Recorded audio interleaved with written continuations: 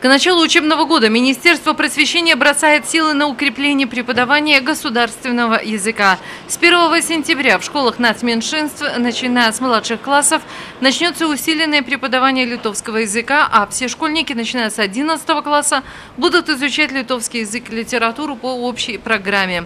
Уроки литовской истории, географии и основ гражданственности также будут проводиться на государственном языке.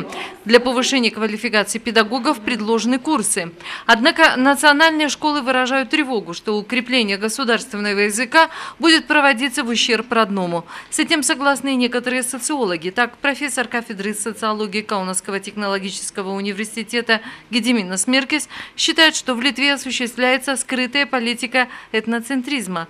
По его мнению, введение единого экзамена является дискриминационным, ведь в таком случае у представителей национальных меньшинств средних способностей будет меньше возможностей возможности попасть на финансируемые государством места в университете.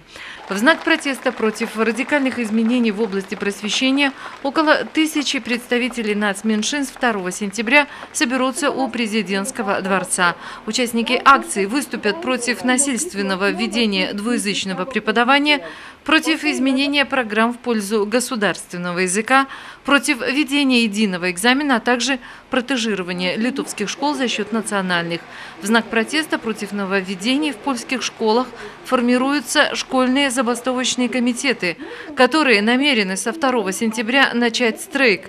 Похожая ситуация сложилась более века назад в городе Вжесни, когда, протестуя против насильственной германизации, в 1901 году дети отказались отвечать по-немецки. Школьная забастовка тогда перенеслась в русскую часть Польши и вскоре переросла во всеобщий стрейк. В нем приняли участие около 75 тысяч детей и в общей сложности около тысячи школ.